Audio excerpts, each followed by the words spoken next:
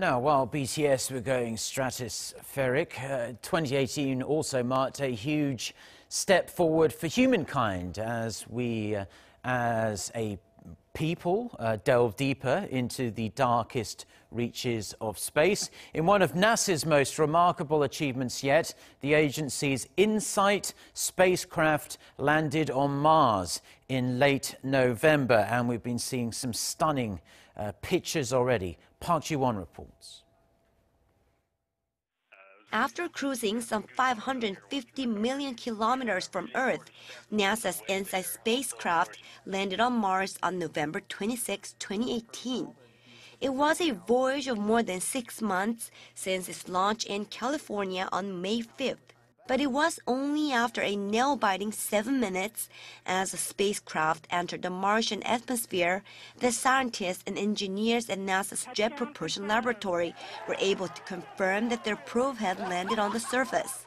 And then they erupted into cheers and applause. The whole room went crazy.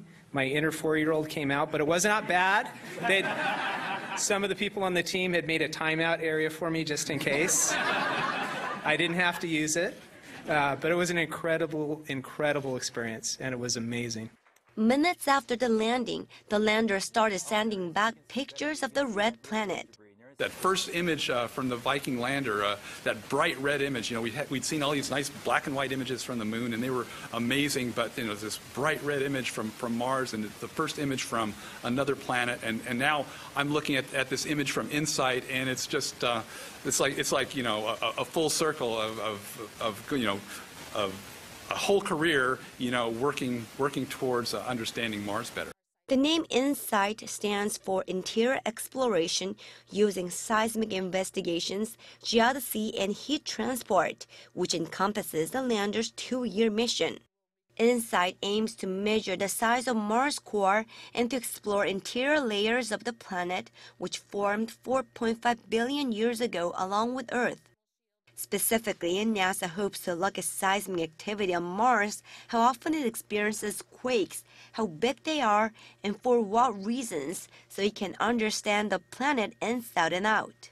InSight landed near the planet's equator and is about 600 kilometers away from where the Mars rover Curiosity landed back in 2012. NASA's long-term goal on Mars is to send a manned mission there by the 2030s or 2040s. Park Ji-won, Arirang News.